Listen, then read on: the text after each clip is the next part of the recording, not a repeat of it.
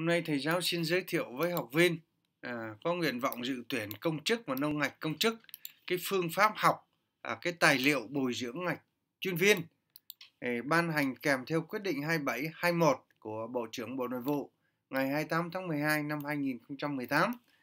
Thì à, hôm nay thầy giáo nói về chuyên đề 1 nhà nước trong hệ thống chính trị thì làm thế nào để học tốt cái tài liệu này được.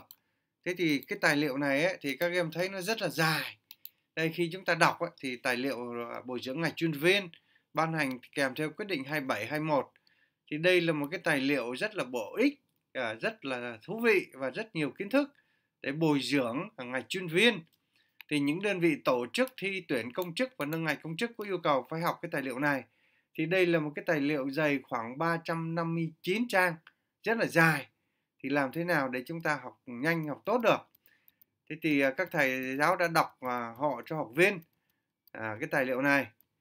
À, sau đó thì tóm tắt thành hệ thống câu hỏi trắc nghiệm mang tính chất phân loại học viên để học viên ôn tập cho nó dễ dàng. Thế thì à, nó khác với học luật thông tư nghị quyết nghị định. Thì chúng ta học cái tài liệu bồi dưỡng ngành chuyên viên này thì cái mục đích của kỳ thi tuyển công chức nâng ngạch công chức bây giờ là thi trắc nghiệm. Có đơn vị tổ chức thi thực hành trên máy tính thi xong máy chấm điểm luôn thế cho nên là các thầy chuyển thể ờ, cái tài liệu bồi dưỡng này thành cái câu hỏi trắc nghiệm. Thì theo các thầy ấy, thì để học tốt được thì các em chỉ cần là à, nếu có thời gian thì các em đọc tài liệu. Còn nếu mà mà mà, mà nó, nó ít thời gian thì các em chỉ cần học câu hỏi và các đáp án của câu hỏi à, là để khi kỳ thi chính thức diễn ra chúng ta có thể làm được. Còn nếu có thời gian chúng ta vừa đọc à, à 359 trang tài liệu cùng với câu hỏi trắc nghiệm trong phần mềm. Ờ, chúng ta đọc câu hỏi, sau đó chúng ta học đáp án. Đúng của câu hỏi thì rất tốt. Còn nếu mà ít thời gian thì các em có thể chỉ cần học câu hỏi trắc nghiệm trong phần mềm. Thì sau đây thì giáo minh họa là cái phương pháp học cái này. Thí dụ chúng ta học chuyên đề 1 nhà nước trong hệ thống chính trị, thì theo câu hỏi là theo tài liệu bồi dưỡng ngạch chuyên viên ban hành quyết định 2721 này, quyền lực nhà nước à, trong xã hội hiện đại bao gồm thì phương án A là quyền lập pháp, quyền hành pháp và quyền tư pháp. Đấy, chúng ta học phương án A là quyền lập pháp, quyền hành pháp và quyền tư pháp. Thì có ba cái quyền đấy. Thì quyền lực nhà nước trong xã hội hiện đại thì có ba quyền. Lập pháp, hành pháp và tư pháp. Phương án A là đúng luôn. Đấy, đấy, chúng ta có thể đọc tài liệu hoặc là à, có thời gian chúng ta đọc tài liệu sau đó chúng ta học câu hỏi thì rất tốt còn nếu mà ít thời gian những ba bốn năm gần 400 trang thì các em đọc câu hỏi sau học là được. Đấy thí dụ như là là cái câu hỏi là như vậy khi chúng ta lại hỏi này à, theo hiến pháp à, năm 2013 quốc hội là cơ quan thực hiện quyền quyền nào? Thì là gì? Là quyền quyền quyền những những những cái quyền à, quyền nào? À, thế thì quyền A là quyền hiến pháp quyền lập pháp. Đấy cái câu hỏi tiếp theo là theo tài liệu à, bồi dưỡng đấy thì à, chính phủ là cơ quan thực hiện quyền quyền nào. Đấy thì các em để ý là thực hiện quyền nào. Thì phương án A là quyền hành pháp. Đấy chính phủ thuộc thực hiện quyền hành pháp. À, tòa án à, nhân dân là cơ quan thực hiện quyền nào. Đấy thì nó nó nó phân giá ra mà. Đấy thì tòa án là thực hiện quyền tư pháp. À, em để ý đấy quyền tư pháp. Chính phủ thì quyền hành pháp quốc hội thì quyền lập hiến quyền lập pháp. Đấy em chú ý. Thế thì à, à, các nước tư bản quyền lực nhà nước được tổ chức theo nguyên tắc nào? Thì đây là tam quyền phân lập. Như vậy các nước tư bản quyền lực nhà nước được tổ chức theo nguyên tắc tam quyền phân lập.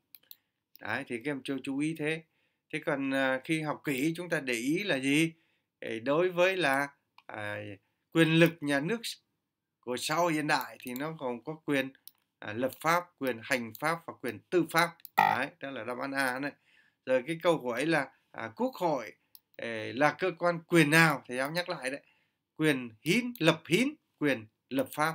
Đấy. Chính phủ là cơ quan thực hiện quyền nào? Phương án a quyền hành pháp. Đấy. thì tòa án thì thực hiện quyền nào? Đó là quyền tư pháp. Thầy giáo nhắc lại mà. Thì các nước tư bản quyền lực nhà nước được tổ chức theo nguyên tắc nào à, nguyên tắc là tam quyền phân lập đấy thì các em thấy rất dễ học thôi Thế câu hỏi tiếp theo là hệ thống chính trị ở nước ta à, bao gồm Đảng Cộng sản Việt Nam, Nhà nước Cộng hòa xã chủ nghĩa Việt Nam, Mặt trận Tổ quốc Việt Nam, các tổ chức chính trị xã hội. Đấy, các các em để ý là các tổ chức chính trị xã hội. à, các tổ chức chính trị xã hội. Thế thì các tổ chức chính trị xã hội bao gồm những tổ chức nào thì sẽ có câu hỏi ở phía dưới. À, câu hỏi tiếp theo là các tổ chức trong hệ thống chính trị vận hành theo cơ chế nào? Thì à, trong hệ thống chính trị ở Việt Nam thì vận hành theo cơ chế là đảng lãnh đạo, nhà nước quản lý, nhân dân làm chủ. Các tổ chức chính trị à, ở Việt Nam à, hay là chúng ta gọi đây là ở Việt Nam, ở nước ta, ở nước ta thì các tổ chức chính trị à, vận hành theo cơ chế nào? Đấy, ở nước ta. Thì à, các tổ chức trong hệ thống chính trị vận hành theo cơ chế nào? Phương án A đảng lãnh đạo nhà nước quản lý nhân dân làm chủ. Đấy chúng ta rất dễ dễ nhớ thôi. Cái câu hỏi tiếp theo là theo tài liệu bồi dưỡng. Hệ thống chính trị ở nước ta cơ quan nào nắm quyền lãnh đạo nhà nước và xã hội? Thì câu này dễ đúng không? Đảng cộng sản việt nam duy nhất nắm quyền à, lãnh đạo nhà nước và xã hội. Đây là đảng cộng sản việt nam và là đảng duy nhất nắm quyền à, lãnh đạo nhà nước và xã hội. À, phương án a là đúng luôn. Cái câu hỏi tiếp theo là à, các câu hỏi tiếp theo là gì? Là các tổ chức chính trị xã hội trong hệ thống chính trị ở Việt Nam là bao gồm công đoàn Việt Nam Hội Nông dân Việt Nam, Đoàn Thanh niên Cộng sản Hồ Chí Minh, Hội Liên hiệp Phụ nữ Việt Nam, Hội Cựu chiến binh. Như thế là có 5 tổ chức chính trị xã hội trong hệ thống chính trị ở Việt Nam. Chúng ta đếm này, công đoàn là một này, à, Hội Nông dân là hai này, Đoàn Thanh niên là ba này, Liên hiệp Phụ nữ là bốn này, Hội Cựu chiến binh là năm. Như vậy chúng ta có 5 cái tổ chức. Ngoài cái năm tổ chức này ra thì nó là không phải là à, là tổ chức chính trị xã hội ở Việt Nam mà nó là tổ chức À, hội nghề nghiệp chẳng hạn hay là hội đặc thù ví dụ như hội chất độc màu da cam là thuộc hội đặc thù hay là à, hội khuyến học hội liên hiệp khoa học kỹ thuật Việt Nam. Đó là các tổ chức hội à, nghề nghiệp. Đấy thì các em phải phân biệt như thế. Phải phân biệt rõ à, là các tổ chức chính trị xã hội trong hệ thống chính trị ở Việt Nam có 5 tổ chức thôi nha. Ngoài cái năm tổ chức này ra thì có những cái tổ chức à, chính trị à, có cái tổ chức như là hội khoa học hội nuôi ong làm vườn vân vân. Thì đó là người ta hay gọi là hội tổ chức nghề nghiệp. Còn hội tổ chức à, mang tính chất là đặc thù đấy, ví dụ như hội chất độc da cam vân vân. Thì khi cái khi cái này rất nhiều em là nhớ không năm không vững đâu. Thì chúng ta để ý là các tổ chức chính trị xã hội trong hệ thống chính trị ở Việt Nam có năm tổ chức này thôi này. ngoài năm tổ chức này thì nó không phải là à, nằm trong cái tổ chức chính trị xã hội trong hệ thống chính trị ở Việt Nam. Đấy thì em nhắc lại có năm thôi nhá. Công đoàn này nông dân này đoàn thanh niên này phụ nữ này cựu chiến binh. Đấy, các em chú ý thế. Thế thì các thầy đưa ra một câu hỏi là gì? À, là có bao nhiêu tổ chức chính trị xã hội trong hệ thống chính trị ở Việt Nam? Thì phương án A là có năm thôi. Cái nhiều em lầm là 6 là có nhiều em thì tưởng là cả mặt trận tổ quốc nữa à, thì nó không phải mặt trận tổ quốc nó không không phải là tổ chức chính trị xã hội trong hệ thống chính trị Việt Nam nhá nó là một cái tổ chức à, uh, mặt trận tổ quốc riêng. Ừ, đấy chúng ta để ý là có năm thôi. Cái nhiều em lầm tưởng là sáu không phải. Thì uh, theo câu hỏi tiếp theo theo tài liệu bồi dưỡng ngành chuyên viên bản chất nhà nước cộng hòa xã hội chủ nghĩa việt nam là? Đấy bản chất. Cái cái uh, nhà nước cộng hòa xã hội việt nam. Nhà nước Cộng hòa xã hội chủ nghĩa Việt Nam là nhà nước pháp quyền xã hội chủ nghĩa của nhân dân, do dân và vì dân. Đấy, các em để ý cái này là bạn là đúng cái bản chất của nhà nước Cộng hòa xã hội chủ nghĩa Việt Nam là nhà nước pháp quyền xã hội chủ nghĩa à, của nhân dân, do nhân dân và vì nhân dân. Đấy, rất dễ học đúng không? Các thầy chuyên đi dạy cho nên là tóm tắt cho các em rất dễ học rồi.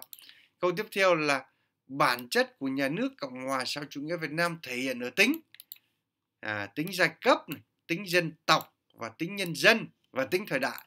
Đấy, chúng ta để ý có bốn cái tính này. giai cấp là một, dân tộc là hai, nhân dân là ba, thời đại là bốn. Đấy, khi học em nhấn mạnh thế. Thế rồi à, câu hỏi tiếp theo là nói về à, nguyên tắc tổ chức và hoạt động của nhà nước cộng hòa xã chủ nghĩa việt nam Đấy, thí dụ như là à, câu hỏi là chọn phương án đúng về nguyên tắc tổ chức hoạt động và hoạt động của nhà nước cộng hòa xã chủ nghĩa việt nam. Đấy là đảng lãnh đạo nhà nước. À, phương án a đảng lãnh đạo nhà nước là một trong những nguyên tắc tổ chức và hoạt động của nhà nước cộng hòa xã hội chủ nghĩa việt nam. À, Thế câu hỏi tiếp theo chọn phương án đúng về bộ máy nhà nước Cộng hòa xã hội chủ nghĩa Việt Nam hiện nay. Quốc hội là một này, chủ tịch nước là hai này, chính phủ là ba này, tòa án nhân dân là bốn này, viện kiểm sát nhân dân là năm này, chính quyền địa phương là sáu này, hội đồng bầu cử quốc gia là bảy này, kiểm toán nhà nước là tám. Đấy, thì theo tài liệu nói tám cái tổ chức này là là à, bộ máy nhà nước Cộng hòa xã chủ nghĩa Việt Nam thế thì à, chính quyền địa phương thì các em xem trong luật tổ chức chính quyền địa phương Đấy. thì nó dễ còn lại à, quốc hội chủ tịch nước chính phủ tòa án nhân viện kiểm sát thì thể hiện trong hiến pháp thì các em ôn câu hỏi trong hiến pháp. Còn à, chính quyền địa phương chúng ta ôn trong luật tổ chức chính quyền địa phương. Đấy thì các em chú ý thế thì trên phần mềm có rất nhiều dạng câu hỏi trắc nghiệm mang tính chất phân loại học viên.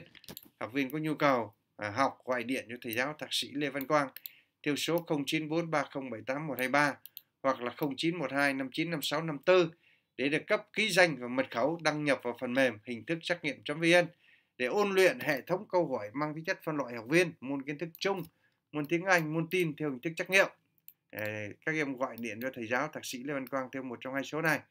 Thì ờ, trong phần mà phần mềm à, có rất nhiều dạng câu hỏi à, trắc nghiệm, các luật, các thông tư, các nghị định, các nghị quyết và à, các câu hỏi về chuyên đề ờ, tài liệu bồi dưỡng ngạch chuyên viên đó, hay là tài tài liệu bồi dưỡng ngạch chuyên viên chính vân vân. À, thì trong thời gian qua có rất nhiều học viên ôn tập trên phần mềm trúng tuyển kỳ thi tuyển công chức và nâng ngạch công chức. Phần mềm đã chứng minh được là ôn tập rất hiệu quả. Đó, và hỗ trợ học viên ôn tập ừ, tiết kiệm được nhiều thời gian và rèn luyện kỹ năng thi thực hành trên máy tính. Khi kỳ thi chính thức diễn ra sẽ không bỡ ngỡ. Thì các em thấy video của thầy bổ ích. À, à, nếu chưa ấn vào nút đăng ký thì nay, hãy ấn vào nút đăng ký, sau ấn vào nút hình chuông để nhận video tiếp theo. Thầy giáo chúc các em thành công và cảm ơn các em.